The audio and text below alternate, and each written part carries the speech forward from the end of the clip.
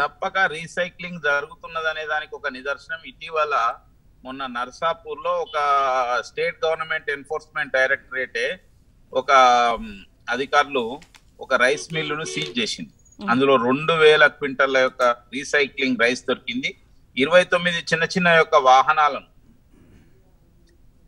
వాళ్ళు దాన్ని సీజ్ చేశారు. అంటే అది ఒక మచ్చు తునక మాత్రమే.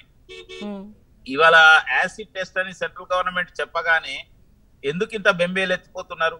ఎందుకు బాయిల్ రైస్ గురించి అంత ప్రేమగా మాట్లాడుతున్నారు?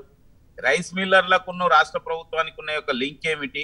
తర్వాత ఈ యొక్క దీని విషయంలో రైతులకు ఇస్తున్న ధాన్యము మళ్ళా రైస్ మిల్లర్లకు ఇస్తున్న యొక్క ధాన్యము దాని నుంచి వాళ్ళు ఎఫ్సిఐకి ఇచ్చే యొక్క బియ్యము దీనిపైన ఏమైనా ఆడిటింగ్ జరిగిందా రాష్ట్ర ప్రభుత్వం?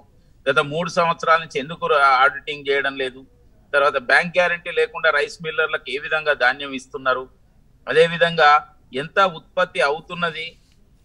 ఎంత ఇవాళ వస్తున్నది అనేది ఒకటి. రెండోది కేంద్ర ప్రభుత్వం చెప్పినట్టు పీయూష్ గోయల్ గారు పార్లమెంట్లో చెప్పినట్టు పోయిన సీజన్కు సంబంధించిన ఇరవై ఆరు లక్షల మెట్రిక్ టన్నులు ఎందుకు ఇవాళ ఇప్పటి వరకు కేంద్ర ప్రభుత్వానికి ఎఫ్సిఐకి పెట్టలేదు రాష్ట్ర మిల్లర్లు? అది అది ఉన్నదా లేదా అని చెప్పి స్థానికమైన యొక్క ఇన్స్పెక్షన్కు క్షేత్రస్థాయి ఇన్స్పెక్షన్కు పోతే ఒక్క వరంగల్ జిల్లాలోనే ఇరవై ఐదు ఇరవై ఐదు వేల మెట్రిక్ టన్నులు ఎందుకు కనిపించలేదు? ఓవరాల్గా ఇరవై ఐదు లక్షల మెట్రిక్ టన్నులు రైస్ మిల్లర్స్ దగ్గర లేదు అనే వార్తలు ఎందుకు వస్తున్నాయి?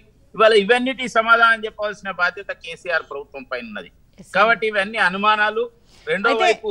ఒక కుంభకోణం జరిగిందనే ఒక అయితే ప్రేమేంద్ర రెడ్డి గారు. అన్నింటికంటే మరి అంటే ఒకవైపు చూస్తే టీఆర్ఎస్ ప్రభుత్వం ఏం చెప్తోందంటే వరి దిగుబడి పెరిగింది అని చెప్తోంది. అలాగే మరి ఇంకొక వైపు బియ్యం రీసైక్లింగ్ వల్లనే దిగుబడి ఇలా ఎక్కువ కనిపిస్తోందని ఒక వర్గం చాలా గట్టిగా వాదిస్తున్నారు ప్రజలంతా అనుకుంటున్నారు. మరి రెండింటికి సంబంధం లేదంటారా బియ్యం రీసైక్లింగ్కి అలాగే ఇక్కడ తెలంగాణలో దిగుబడి ఎక్కువ పెరిగిందని టీఆర్ఎస్ ప్రభుత్వం చెప్పడానికి? ఇంకోటి అర్చన గారు రెండు విషయాలు ఉన్నాయి రీసైక్లింగ్ కొంత జరగవచ్చు పక్క రాష్ట్రాల నుంచి కానీ లేకపోతే ఎక్కడైతే కొద్దిగా తక్కువ రేటుకు ఉన్న దగ్గర నుంచి కొనుగోలు చేయడం రెండోది జరగవచ్చు. మూడో విషయం ఏంటంటే అసలు ఇప్పుడు ఈ కేవలం ఈ యొక్క ఆరేడు సంవత్సరాల్లోనే ఆంధ్రప్రదేశ్ని మించి ఉత్పత్తి జరుగుతుందా అనేది కూడా ఆలోచించవలసిన అవసరం ఉన్నది పోయిన. సంవత్సరము ఆంధ్రప్రదేశ్లో యాభై ఆరు లక్షల మెట్రిక్ టన్నులు సేకరించింది.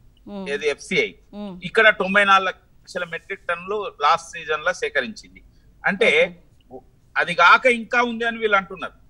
అంటే దీన్ని బట్టి ఇంత పెద్ద ఎత్తున ప్రాజెక్టులు ఇంత పెద్ద ఎత్తున నీటి వసతి ఇంత పెద్ద ఎత్తున ఆంధ్రప్రదేశ్ని మించి ఇవాళ భూమి సాగులో గాని మిగతాయి గాని వచ్చినాయా?